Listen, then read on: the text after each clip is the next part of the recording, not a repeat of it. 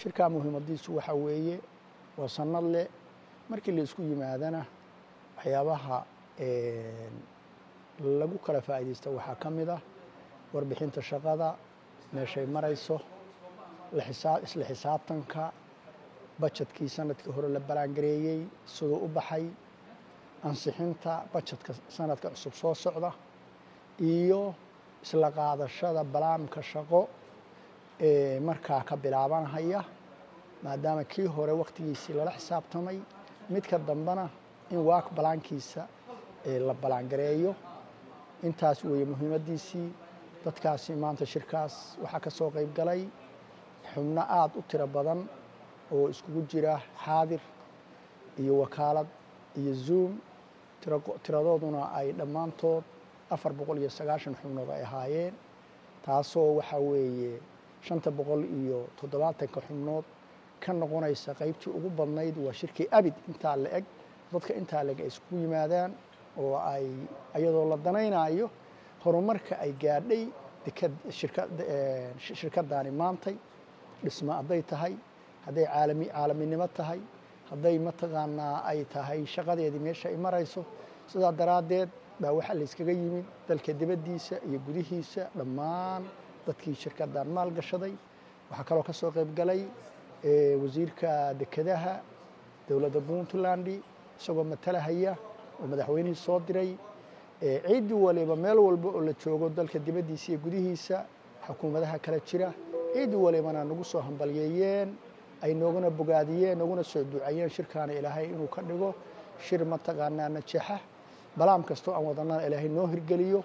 Intaasaa muhiimadiisu tahay dadka khaasatan ummadda soomaaliyeedna waxaan leeyahay aynu ku dhiiranno mashaariicaha noocan oo kaleeta ah oo noqonahaya dadka oo dhan wax tarahaya deked ninkii dhisa ninkii waddo dhisa ninkii aeroboort dhisa ganacsi ka sokow ummadoo dhan buu nooleeyey. Dalkoo dhanna waa nooleeyey.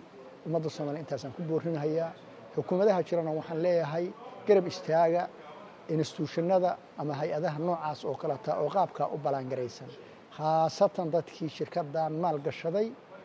Na waxaan leeyahay waa inaad laba jibaadhaan dadaalkiina kiina dhaqaale kiina hami kiina isku tashi kiina isku tiirsanaadeed ayagana intaasaan leeyahay.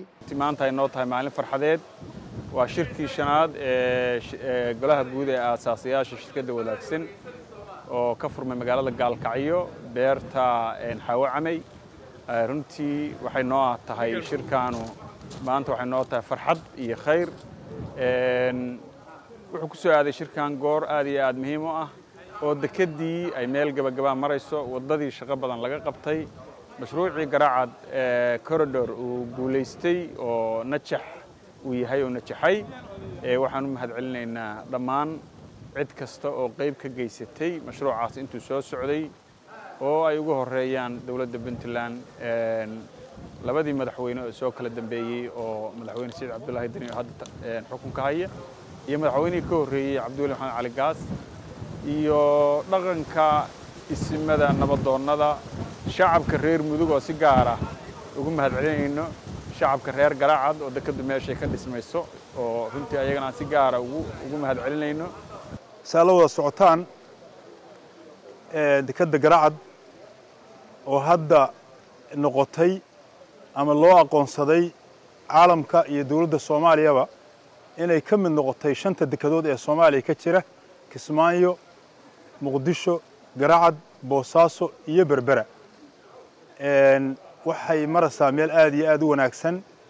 Waxaa la wada socotaan laba kun iyo labiyo labaatankii bishii oktoobar in ay bilowday shaqadii maaragtay operationka labadii jambiye u horreeyey oo ilaa intii la furay ay ku soo xirteen in ka badan ilaa afartan markab ay ku soo xirteen oo shaxnado kala duwan sida haddana shaqadeedu si fiican ay u socoto oo ay maraakiibtu yimaadaan oo doonyuhu yimaadaan oo ganacsigu ka soo dego. Dhinaca kalena ee dhismihii labada jambi oo waaweynaa oo u dhimanaa ay marayaan meel gebageba ah gaar ahaan jambiga c oo aan rajaynayno sanadkan intuusan dhammaan in la soo gebagabeeyo.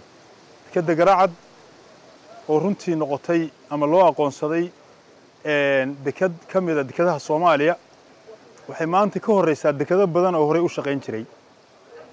Runtiina arrintaas ilaahay mahad ballaaran ka gaarto. Ilaahay baa noo suurtageliyey. Waxaan u mahad celinaynaa dadka maalgashaday oo maalgashadayaasha ah oo lacagtoodii u huray inay dalkooda ku maalgashadaan ka taageeraan horumarinta kaabayaasha dhaqaalaha. Sidaas si la mid ah waxaa meel wanaagsan maraya dhismaha waddada oo shaqo badan laga qabtay. Waxaa hadda caadi ah in baabuurta yaryar ay u socoto saddex saac iyo bar ilaa afar saac inta u dhexaysa gaalkacyo iyo garacad waxaa laga yaabaa qof dan kale garacad inuu subaxdii inta ka tago oo dantiisa ka soo qabsada garacad uu markaas mina soo noqdo oo maaragtay gaalkacyo u soo hoydo. Arrintaasoo waagii hore aan suurtagal ahayn alxamdulillahi rabbilcaalamiin waddadu waa laba boqol iyo afartan kilomitir. In ka badan boqol iyo konton kilomitir baa shaqo laga qabtay. Farxad bay noo tahay runtii sharaf bay noo tahay. In odhitkii iyo shirkadda la soo bandhigi doono xisaabaadkii mashruucu meeshuu marayo waddadu meeshay marayso dhammaan la soo bandhigay. Qaybna la soo bandhigi doono. Guul baan rajaynaynaa. Runtii shirkeenu maanta ka soo qayb gallay aad baan ugu faraxsannahay meesha wax marayaan. Iyo ilaahay inuu guuleeyey hantidayadii aanu badda maxaan ku idhahdayy u quuray oo maanta meel fiican maraysa. Dadka hantida gashadana waxaan ugu bishaaraynaynaa hantidiini maanta waa hanti guulaysatay. Faa'iidadeeda iyo ribixeedana insha allahu awlaaddeena iyo awlaaddeedu ay helayso guul bay u tahay dadka reer puntland iyo soomaaliya. Dhammaanteed waana idin salaamaya magacayguna axmed cumar cabduur axmed hambalyo anigoo layaha magacayga dhagacadde ka imid maraykanka minnesota. Waxaan ku faraxsanahay inaan ka soo qayb galo shirkadda wadaagsan garacad boorti dekedda garacad runtii waa markii koowaad aan ka soo qayb galo aad iyo aad baan ugu faraxsanahay. Waa maalin taariikhiya. Waa maalin maalmihii hore ka duwan. Waxaan rajaynayaa dekeddii waa noo dhammaystiran tahay wax yaraa ka dhiman. Guddiga shaqada noo wada. Runtii aad iyo aad ba u mahadsan yihiin. Waa niman geesiyaal ah oo ay ku yartahay in maanta laga helo dadka soomaaliyeed dad la mid ah. Haddii ammaano noqoto iyo hadday waxqabad noqoto iyo hadday dadaal noqotaba waxaan taageersannahay inaan soo celinno kulligood dhammaantood ay noo shaqeeyaan si aan uga aaminay mashruucaas weyn ay ka dhalaaleen inaan mar labaad ku aaminno dadka kalena waxaan rajaynayaa in lala qaato. Magacayga waa xasan barra diiriye. Waxaan ka imid meesha yidhahda denmark. Rag badan baan ahayn oo mataqaanaa ka soo qayb galay shirka. Hawshaan garacad baan u nimid. In muddo ahna waa soo wadnay. Deegaanka aan jooga ama meeshaan ka imid kooxo badan baa ka samaysan. Waxaan rajaynayaa insha allah mashruucan u noqdo mashruuc mataqaanaa taabagala sidaan alla ka rajaynayno meel fiican buuna maraya insha allah inta dhimana waxaan ka rajaynaya ilahi inuu noo dhammaystiro. Dadkuna ay noqdaan dad wax qabanhaya soomaaliya u noqdo arrintaani arrin mataqaanaa ay hiigsadaan insha allah marka aad baan idiin salaamaya walaalaha iyo dhammaantiinba insha allah baaraka allahu fiikum wuxuu noogu furmay si sharaf leh oo aad iyo aad u qurux badan waxaana ilaahay ka rajaynaynaa inuu noogu dhammaado sidaa iyo si la mid ah. Waana soo dhowaynaynaa shirka. Hambali iyo guul baana ku dambaysiinaynaa insha allah.